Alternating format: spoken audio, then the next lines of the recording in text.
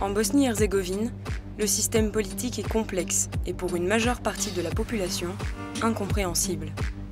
Deux entités, un district autonome, une dizaine de cantons et 160 ministères.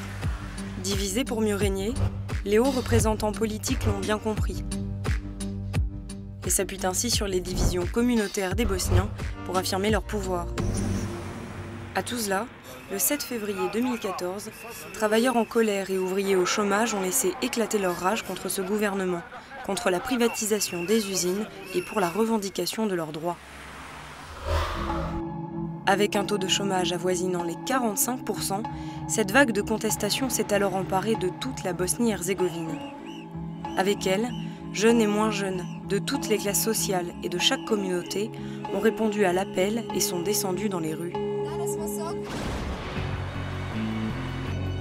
De ces mouvements sont nés les plénums, assemblées de citoyens réunissant jusqu'à 1000 personnes par réunion.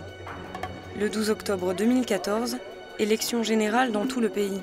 Plus de 3500 candidats pour 51 partis politiques inscrits. Un jour d'espoir et de changement possible pour les Bosniens qui se sont déplacés vers les urnes, mais aussi pour d'autres, un jour de désillusion.